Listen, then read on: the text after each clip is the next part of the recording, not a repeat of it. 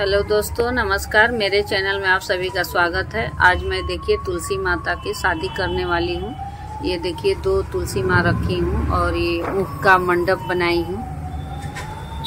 ये ईख का मंडप बनाना ज़रूरी होता है।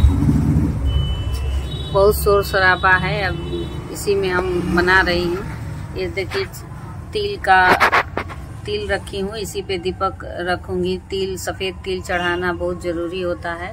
और बाकी चीज़ मैं आपको बाद में दिखाऊँगी। अभी मैं तैयारी कर रही हूँ। कृष्ण भगवान के साथ मैं इनका शादी करूँगी। देखिए, कृष्ण भगवान रखे हैं, गौ माता हैं।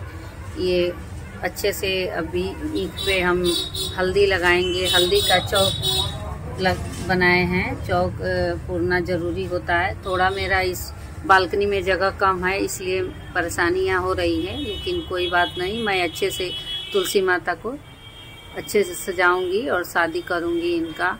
जितना हमसे बन पड़ेगा, उतना करूँगी। शादी तो बहुत तरीके से होती है, लेकिन मैं अपने घर जैसे करती हूँ, उसी तरह से आपको दिखाऊँगी। ये सारे सामग्री हमने इकट्ठा किए हैं। ये देखिए, ये कृष्ण भगवान का माला है, ये तुलसी माता का चुंदरी इसमें सारे फल फ्रूट है सिंगार का सामान, अभी मैं आपको दिखाऊँगी। तो चलिए, मैं बनाना, इनको सजाना स्टार्ट करती हूँ।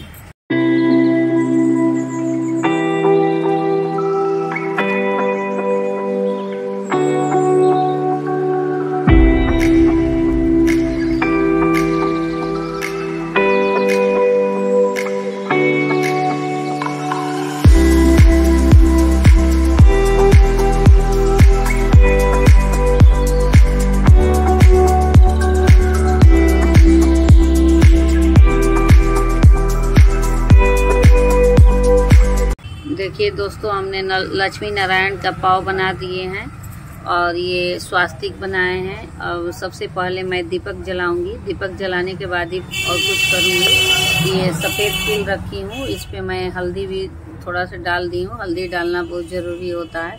नारायण को हल्दी बहुत पसंद है। तो चलिए मैं दीपक जलाना स्टार्ट करती हूँ।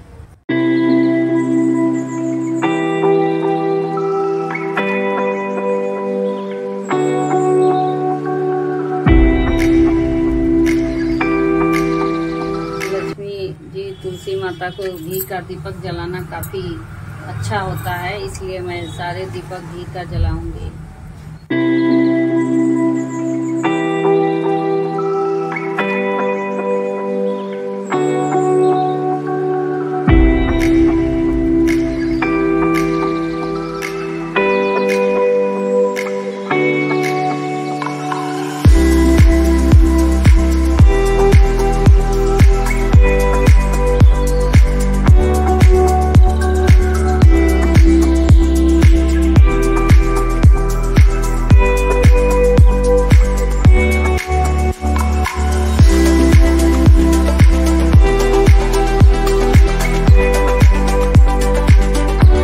देखिए, हमने तुलसी माता के घर भरने के लिए पैंतीस खाना का बनाई हूँ। इसी में तुलसी माता के घर भरूँगी, क्योंकि बहुत ज़रूरी होता है तुलसी माता के घर भरना। और ये देखिए, सारे हमने फूल और ये माला पहनाई हूँ। और रक्षा सूद से उन दोनों लोग को गठबंधन की हूँ चुंदरी और ये देखिए, तुलसी माता की माला चुंदरी बहुत ही अच्छा लगता है ये पूजा करना, बहुत मन खुश हो जाता है। तुलसी माता के घर भरना तो काफ़ी अच्छा लगता है। ये देखिए, हमने दो पाँव बनाई हूँ, लक्ष्मी नारायण के। आज लक्ष्मी नारायण के ही शादी होता है, जो तुलसी माता के रूप में हैं लक्ष्मी जी। ये देखिए, ये सारे हमने इनके लिए भोग तैयार किए हैं। ये देखिए स्वीट पोटैटो है, ये सेब है ये अनार है, लड्डू है, अगर आपके, आपको पूड़ी हलवा भी बना के चढ़ा सकते हैं। हमने नहीं बनाई हूँ क्योंकि मेरा थोड़ा तबीयत सही नहीं है। और ये सिंघाड़ा, आंवला चढ़ाना बहुत ज़रूरी होता है, जो मैंने चढ़ाई हूँ।